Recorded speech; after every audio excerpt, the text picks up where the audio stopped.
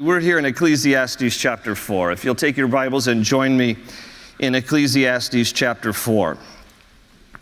That's all the laughing you're going to have today because this is a serious matter uh, that we're going to be looking at from chapter 4 today. If you need a Bible, you can raise your hand. The ushers will have Bibles in hand as they come up and down the aisles, and they'll be glad to give you a Bible if you wave in their direction. Ecclesiastes chapter 4 is where we're going to be. That's page 473 in those church Bibles, page 473. Now, here we are in chapter 4, and this is the fourth week in the book of Ecclesiastes. I, I, will be honest with you, I hadn't planned on taking only one chapter a week, but that's what it's turned out to be so far. Every time I have planned to take a section uh, or a couple of chapters of Ecclesiastes at a time, uh, I, I, read a section and then the Lord puts me on pause. And so uh, I'm just taking it at the pace I feel He wants us to go. But I know for some of you, you feel like, wow, this is painful. This, this, is, pain, this is like watching curling at the Winter Olympics. a sport I do not understand. I, I, suppose if you're good with a broom, you're Olympic bound. But. Uh, but some of you are like, you know, this is, this is, uh, can we please breeze through Ecclesiastes and get to the fun stuff in Song of Solomon? But, but listen, didn't your mama teach you to eat your vegetables before you have dessert?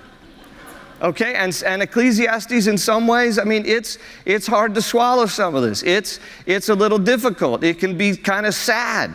But it's only sad if you recognize that Solomon is writing from a perspective of a guy that has reduced God to the fringes of his life at best. And so, if you're going to be sad reading Ecclesiastes, be sad for the people like Solomon who are trying to navigate life without God. Because otherwise, this is a great book. This is a rich book that reminds us of the true remedy for all that ails us in this world. But without God in the equation, then you can look at the world, you can get weighed down, you can read what Solomon writes, and you can get weighed down. Because that's a perspective from which Solomon is writing. He's writing from the vantage point of a guy who's looking at life through the lens of a life without God. So here's a guy who has all the possessions that money can buy. He has uh, all, all the women that men can lust after.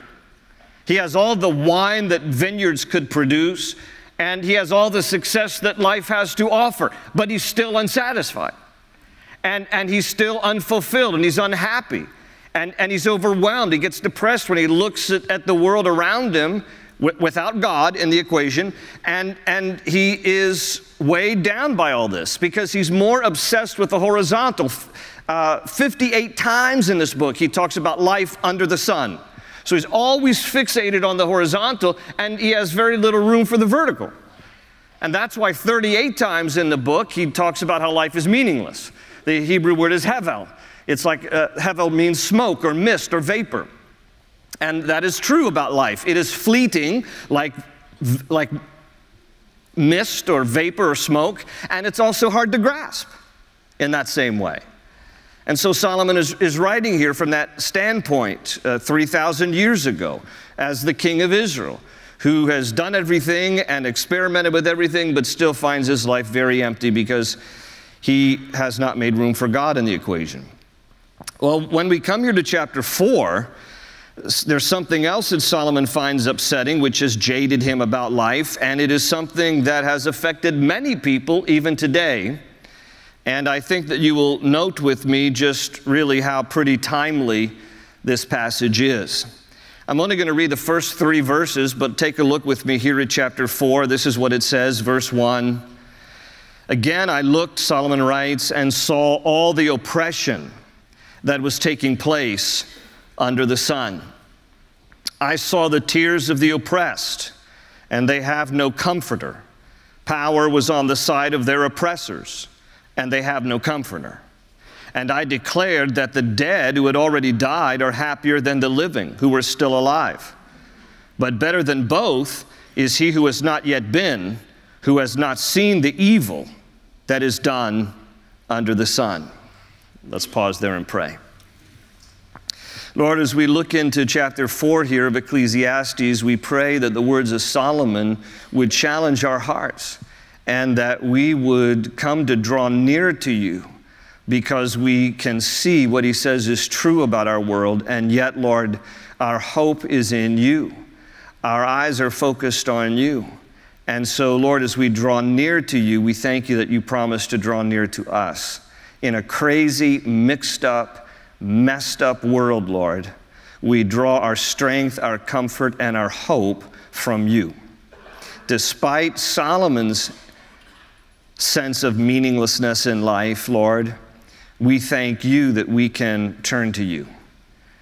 And so we pray that you'll help us now and remind us of these things as we study your word together. It's in Jesus' name we pray. And everyone said, Amen. So Solomon writes here in chapter 4 about how troubled he is by all the oppression and evil in the world. That's what these first three verses are all about. He's weighed down when he takes a look and he kind of surveys the landscape of humanity and he's troubled by all the oppression and evil in the world. In fact, in verse 1, he uses some form of the word oppression three times. In verse 1, he, he uses the word oppression and then he writes about how he has seen uh, all, all the tears of the oppressed. Also in verse 1, he, he talks about how he has seen all the power of the oppressors. So, right there in verse 1, oppression, oppressed, oppressors. And twice he says in verse 1 about those who have been oppressed and they have no comforter. And they have no comforter. And then he adds for good measure in verse 3 how he has observed all the evil, that's another word, evil that is done under the sun. Now, we're not sure exactly what Solomon has been exposed to or what specifically that uh, he has witnessed in terms of oppression or evil or injustice in the world, but I think it is safe to say that not much has changed in 3,000 years from the time that Solomon penned these words, because wherever you have people, you will have oppression, evil, and injustice in the world.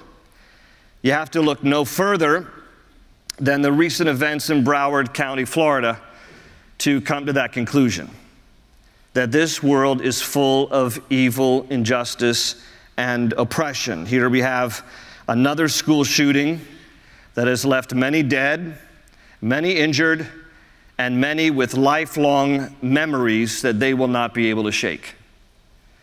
And this is yet another tragedy. It has reignited the gun debate. It has once again turned a spotlight onto mental illness, and it has raised the issue of school safety. People are hurt, people are angry, people are sad, people are afraid, and a whole host of other emotions as a result of this singular event. Now, be honest with me.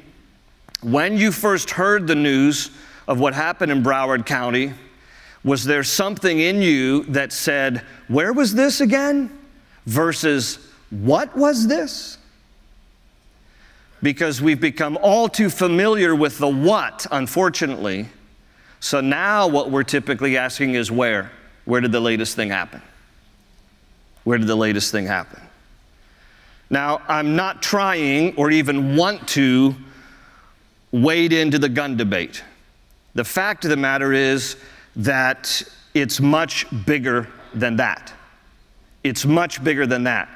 Incidences like what happened in Broward County, and now unfortunately they are numerous, are much bigger than just guns. There's a common denominator to all of these unfortunate, horrible incidences. Whether, whether someone brings a gun into a school or a university campus, or whether someone detonates a bomb in a federal building, or whether somebody drives their car or truck up onto a crowded sidewalk, or whether somebody takes box cutters to gain entry into an airplane cockpit. The common denominator to all of that is that there is undeniable evil in the world. It's not a debate about one particular weapon. The common denominator to all of this is that there is undeniable evil in this world. And this evil has caused a lot of people to question the meaning and purpose of life and to question God in the equation. And Solomon is no exception, because this is what he's focused on here. He's at a place in his life where he looks at all the oppression and all the evil. Those are the words he uses in the first three verses. And it causes him to question the meaning of life, and it causes him to question things about God. Now, for some people, the matter of evil in the world has so impacted them that it has caused them to question God in, in two ways. Number one, it has caused some people to question the very existence of God. The, the problem of evil in our world has caused some people to question the very existence of God. This may be the very thing that some of you wrestle with, some of your friends wrestle with. There might be people later, later who will watch this by video or listen to it by podcast, and, and you'll say, Yeah, yeah, that's kind of my story. I, I wrestle with the existence of God because I see all this evil, I see all this oppression, I see all this injustice in the world, and it seems that all those things are incompatible with a loving God. And so many people who have uh, postulated this, this question in their minds and in their hearts wrestle with all this because, after all, how do you reconcile evil in the world with an all loving God? And some would say if evil is allowed to exist, then maybe God doesn't. Oppression, injustice, and evil seem more consistent with a non existent God than with an all loving God, some would say. And some would say that pain and suffering in the world and in their lives personally is evidence for the absence of God because a true God would not allow such evil to exist, therefore, God must not exist. And that's how some of the reasoning goes. Now, I'm, I'm going to give a logical answer to that, but before I do, I want to say in advance that I understand giving a logical answer can seem insensitive because people who have been deeply impacted by some oppression, injustice, or evil personally that they've experienced are not really at a place where they want to hear a logical answer. And I get that. And I don't want to appear insensitive and just kind of come out with some kind of a trite logical answer. But on the other hand, I don't want the question to go unaddressed either. So I, I submit to you a logical explanation to that question can God even exist in the midst of an evil world? And, and I draw this in large part from a great apologist of our modern times, Ravi Zacharias. And I would encourage any of you, you can get a hold of anything that Ravi Zacharias has written, it will help you immensely to sort out some things. I mean, I, you know, he's a brilliant uh, apologist and theologian. And in fact, if you want help on a personal level with some of this, uh, at a deeper level, um, you can, I encourage you to get one of his books that he wrote entitled Why Suffering? And then the subtitle is Finding Meaning and Comfort When Life Doesn't Make Sense. Again, the author is Ravi Zacharias, and the title is Why Suffering? Finding Meaning and Comfort When Life Doesn't Make Sense. And so, this is one of the logical arguments that he makes in the book about how it is true that God exists even though there's evil in the world. And so, the reasoning goes like this If evil exists, and I think we all will admit and acknowledge that evil exists in our world, if evil exists, then one must assume that good exists in order to know the difference. And if good exists, then one must assume that a moral law exists by which one can differentiate between good and evil. And if a moral law exists, then one must recognize that there has to be a supreme moral law giver to the moral law, and thus that leads one to the existence of God. You see, where there is no moral law giver, then there can be no moral law. If there is no moral law, then there can be no definition of good. If there's no definition of good, then there can be no evil. But all of us know that there's evil. So the logic of the argument is that God exists, but God exists apart from all the evil in the world. And therefore, God has to remain in the paradigm of the, of the conversation, otherwise, the question itself has no value. Now, questioning the existence of God was not Solomon's issue. He did not question whether God exists because there are many times that he makes reference to God throughout the book of Ecclesiastes. Solomon's issue was not that he questioned the existence of God. Solomon's issue was something that others might wrestle with, and that is the goodness of God. He questioned the goodness of God, not the existence of God. And if injustice and evil and wickedness in the world don't cause you to question the existence of God, it may cause you to question the goodness of God. This was Solomon's challenge. Uh, and, and the question that goes with this is why would a good God tolerate such injustice and evil in our world? How can a good God stand idly by while so many people are so horribly impacted by the evil in our world? Now, these are hard questions. And these are real questions offered by real people who experience real pain and real confusion in our world as a result of all the oppression, injustice, and evil around us. And some of you here today are asking similar questions. And if not you, your friends. And, and I pray and trust that at some point, if not in the course of this Bible study, that afterwards, at some point, God's going to bear witness to your heart about His existence and about His goodness. And so let me uh, frame the conversation this way. And in order to do it justice, I have to go all the way back to the beginning to where stories start and that is to the book of beginnings, and that's the book of Genesis. Now, you don't need to turn there. I'm just going to summarize some events from Genesis so we can get a better understanding about evil and injustice and oppression in the world and the fact still that God exists and that God is good. So, in the book of Genesis, here's what we learn. In the beginning, God created the heavens and the earth six days of creation. After each day of creation, God looked at what He created and said, It is good. After the sixth day, when God created mankind, He said, It is very good. It is very good.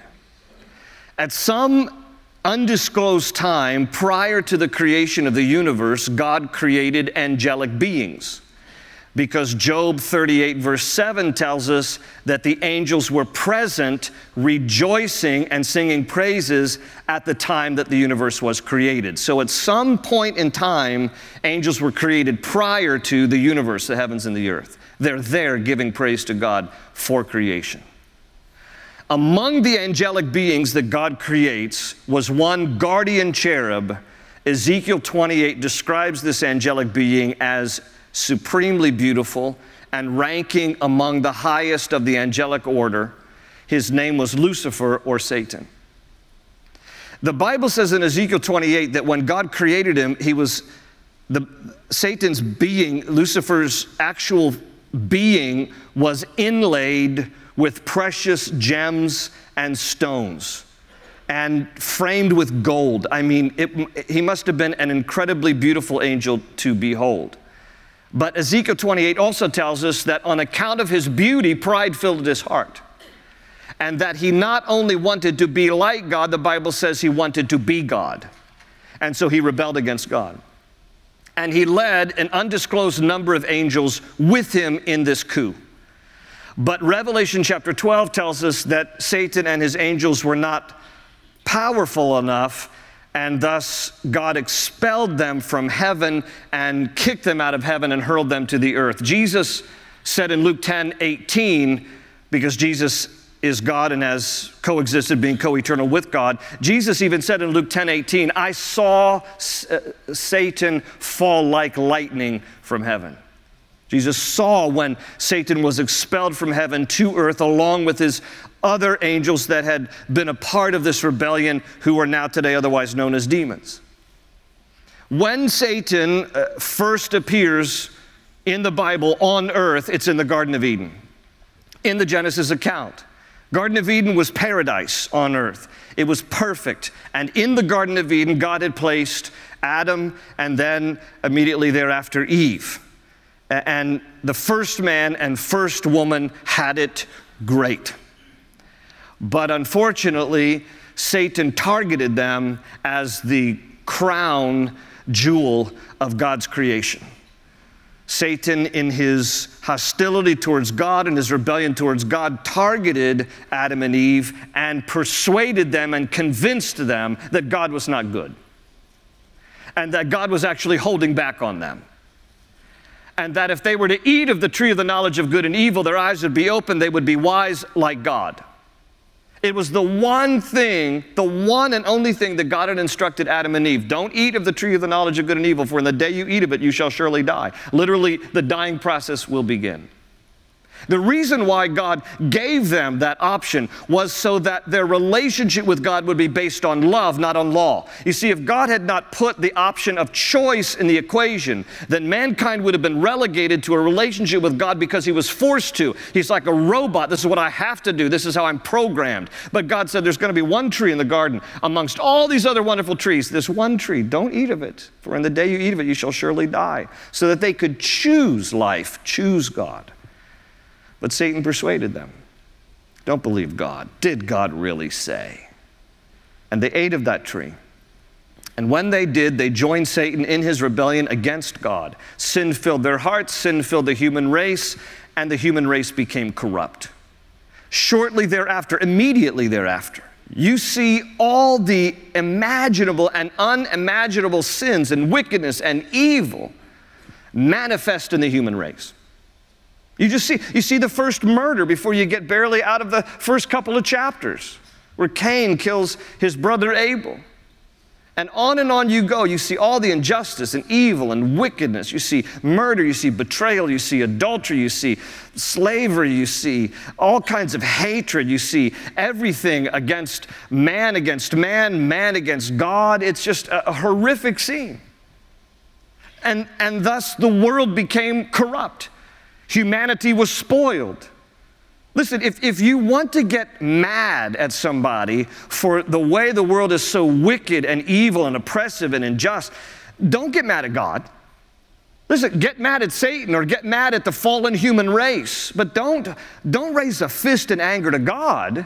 The reason why we see all that we see around this world is because there was an instigator behind it, and his name was Satan. And he persuaded mankind to rebel against God. And ever since then, humanity in its fallen state now manifests all this wickedness and evil in our world. And Satan is still alive and well in his influence. The Bible says in 1 John chapter 5 verse 19, the whole world is under the control of the evil one. That's what the Bible teaches. Satan is still at work, influencing in a major way the world's ideals and ideas and opinions and values and thoughts and actions. He influences philosophies and education. He influences and he's the reason behind false religions that have been spawned as a result of his lies and his deception. This is all Satan's playground, and he's having a heyday with humanity. The Bible calls him the ruler of the kingdom of the air in Ephesians 2 2. The Bible says that he's the one who leads the whole world astray in Revelation 12 9. And Jesus said of him that he's the prince of this world in John 12 31. So Solomon sees this. He sees all the injustice, the evil, the wickedness in the world. Whether or not he understands the dynamics of Satan behind it is unknown to us, but he sees the result for sure. He sees all of this and it weighs him down.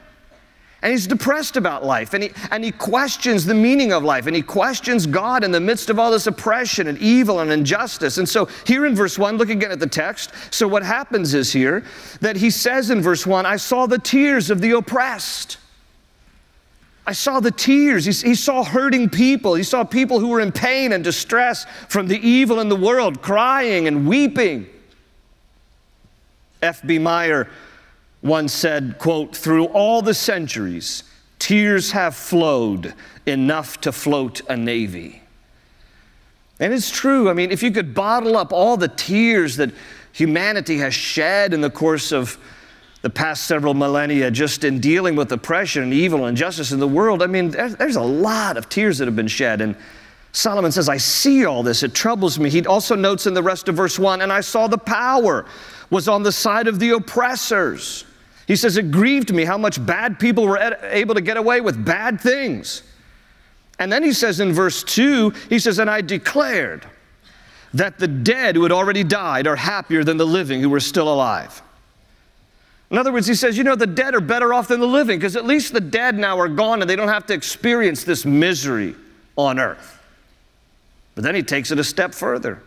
And in verse 3, he says, But better than both, better than living and the dead, is he who has not yet been, who has not seen the evil that is done under the sun. In other words, Solomon says that the one who has an advantage over the living and the dead is a person who has not yet been born, because they haven't experienced any of it. Now, look, I think all of us would agree. Yeah, I, I hear you, Solomon. I wish we could all be spared from having to see and experience and be a part of the evil and injustice and oppression in our world. I wish paradise had never been lost. I look at my grandkids now and, and I think to myself, what will they be exposed to in the course of their life that, try as best as they might, their parents or their grandparents can't protect their innocence from? Because look at how the world has changed in the last 50 years, in the last 15 years. And I think to myself, what will the next generation be exposed to in 15 years from now, in 50 years from now? I shudder to think. Because some of the things that we're experiencing now wasn't even on the radar to our parents' generation. So, what does that mean for the next generation and the generation after them? Yes, the world is evil. Yes, the world is wicked. Yes, the world is full of oppression. But Solomon's problem in the midst of that was, once again, he lost sight of God. He looked at all this horizontal mess and he says, This is troubling to me. I, I don't even know about God, and I don't even, I don't even I'm, I'm, questioning all that, and I'm questioning the meaning and purpose of life. And how do we know that he lost God, and lost sight of God in the, in the equation? Because, again, he says twice in verse 1 as it relates to the oppressed, twice in verse 1, and they have no comforter and they have no comforter. Yes, they do, Solomon. Yes, they do. The Lord is our comforter. But you have forgotten him because you have forsaken him. And you don't even remember the words of your father, Solomon, because David got it and David understood. That's why David would write in Psalm 86, verses 7 and 17 In the day of my trouble, I will call to you, Lord, for you will answer me. For you, O Lord, have helped me, and you, O Lord, have comforted me. Even Solomon's dad understood this, but Solomon lost sight of the God of his fathers. And therefore, as he looked at all the stuff on the landscape of humanity, he became depressed about it.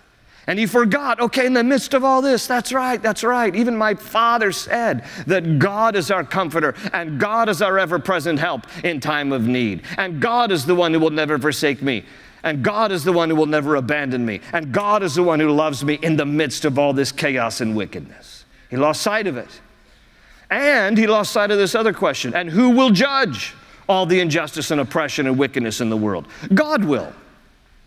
God will. Jude verses 14 and 15 says, See, the Lord is coming with thousands upon thousands of his holy ones to judge everyone and to convict all the ungodly of all the ungodly acts that they have done. So, if I could just summarize this in a few bullet points, here's what it would be. First, evil does exist, but it exists apart from God. God is not the author of it, Satan is. It is Satan's influence, his wickedness, that has instigated and been behind what we see as a part of the fallen race now of humanity. Evil does exist, but apart from God. The perfect world God intended for us was spoiled a long time ago when Satan rebelled and mankind sinned against God. And as a result, every form of evil and injustice now affects all of us to some degree. To some degree. But God put in motion a plan to save us from our sins, to comfort us in our sorrows, and to rescue us from this wicked world through Jesus. Through Jesus. And He will judge the world with justice and punish every evil act. Now, some of you might say in response to this, well, okay, great. What is His delay? I mean, if God exists and God is good, then what is He waiting for? Maybe you. Maybe He's waiting for you. God doesn't want any to perish, but all to come to repentance. He's still waiting for people to get saved. He's still waiting for people to get saved. You see, for those of you who know Jesus, you could be anxious for God to settle this mess. But I still have friends and loved ones who don't know Jesus. And in that regard, his delay is his mercy.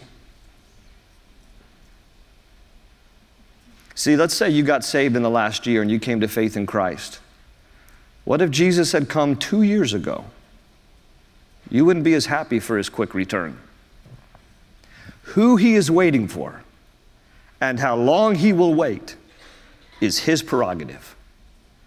But I know that in his delay, it is mercy for as many people to get saved. Yeah, but Pastor G, doesn't that mean, though, that with every generation that he waits, there's a greater number of people who will not respond to his love and they will be condemned? So, what's the deal there? I know.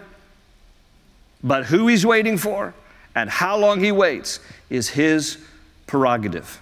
His delay is his mercy for as many people to get saved. And all I know is this it's what John the Baptist said in Luke chapter 3. He was quoting from the prophet Isaiah.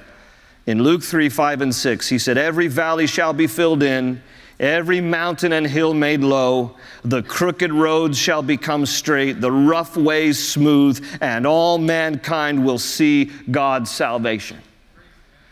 In other words, he says, all that seems out of order and all that seems out of balance and all that seems crooked in this world will be leveled and will be made straight. Every injustice will be judged. Every oppression will be lifted. And every evil will be punished. And the zeal of the Lord Almighty will accomplish this. So don't turn from God, please. Turn toward God and find His grace and His comfort and His hope in a wicked world. God will take care of this wicked world. And in the meantime, He will help us to persevere and He will comfort us along the way. Amen. Let's pray together. Lord, this is, this is troubling to us when we think about the many people in our world, some maybe who are listening to this Bible study and they have questioned your existence or your goodness. And we, we get it, Lord. We're, we're not detached. We recognize that because of the evil and wickedness that people can experience and the oppression that people have experienced, it can be hard. It can be painful. It can be brutal. We pray for your comfort on all those who have been oppressed. We thank you for the hope of heaven. We thank you for forgiveness of sins. We thank you that you comfort us in our sorrows. And you offer us the hope and the promise of heaven when we die. Lord, are you waiting for someone here, even in this Bible study? Are you waiting for someone who will turn their lives to you and surrender to your Lordship? I pray, Lord, that if so, they would respond to you today. They wouldn't wait another minute, they wouldn't wait another day to get right with you. We don't profess to have all the answers, Lord, but we know that you do. And so we trust you. We rely on you. We lean on you and not our own understanding. In all our ways, we acknowledge you and we trust you to direct our paths. And for those who don't know you today, Lord, I pray right now they'd open their heart to Jesus. And I'm going to pause in my prayer with your head still bowed, and I'm just going to give you the invitation to accept Jesus as your Lord and Savior. God's going to sort all this wicked world out. But right now, at this moment, it's about you and Him alone. And if you don't know the Lord, if you're not right with Him, I invite you to accept Him into your heart today and acknowledge Him as Lord and Savior. You can do it by praying a simple prayer. I'll lead you in this prayer. And if you want to pray this with me, you just pray it silently where you're seated. You can just repeat it after me. You can just say, Lord Jesus, thank you that you came into this world to save sinners like me. I'm going to trust you to sort out all the wickedness in the world. But right now, it's just about you and me. That my sins will be forgiven that you'd comfort me in my sorrows, and that you'd take me home on that great day whenever you return again or whenever I die, whichever happens first, that I go to be with you forever. So I surrender my life to you right now. I confess Jesus is Lord with my mouth. I believe in my heart that God raised Jesus from the dead that I might be saved. I surrender to you, Lord. Come into my life, take over. Be my Savior and my Lord. And together, Father, all of us just look to you, the author and finisher of our faith. Help us, Lord, to persevere in the midst of a sin filled world. We thank you that you loved us so much, you entered into this chaos to rescue us and redeem us, to save us. And we hold on to that hope, Lord. And it's in your precious name, Jesus, that we pray these things. And everybody said, Amen.